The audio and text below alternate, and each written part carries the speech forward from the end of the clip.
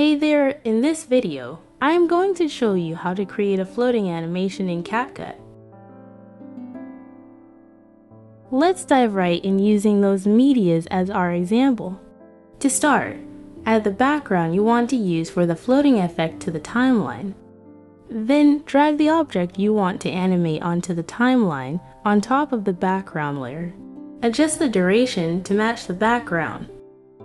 Before applying the animation, Adjust the position and size of the object within the background as needed.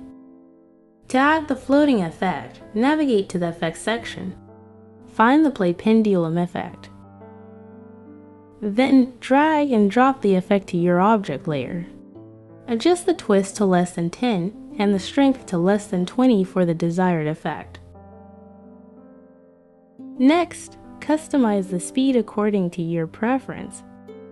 For this demonstration, I'll set the speed to 70. Let's see how it transforms now. And there you have it. I hope this tutorial was helpful for you. Thanks for watching.